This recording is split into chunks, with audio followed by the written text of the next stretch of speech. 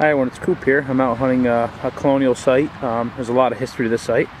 I got the invite uh, from Derek from TreasureNet, and uh, we have permission to be here. It's private property, and um, we've been here about I don't know 10 minutes if that. I just made my first good find. It's still down in the hole there. Let's see, I got a copper. Looks smaller than a large cent. Looks pretty thin. Probably going to be a colonial.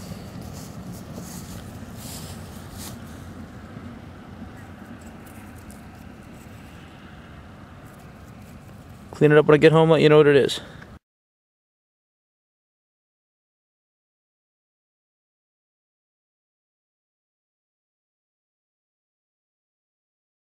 And I've got a good signal down here. Let's see, I got a copper.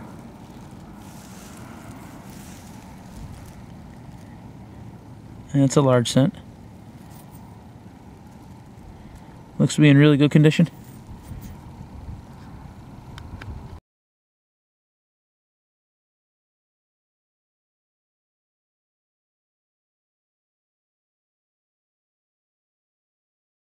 I'm at a new spot now. Um, I'm out today with my uncle in uh, Fisher F70 FTW, and um, I've been hunting this field for a little while. Haven't really found anything. A couple flat buttons and lead and stuff like that, but it's got a decent early decorative button.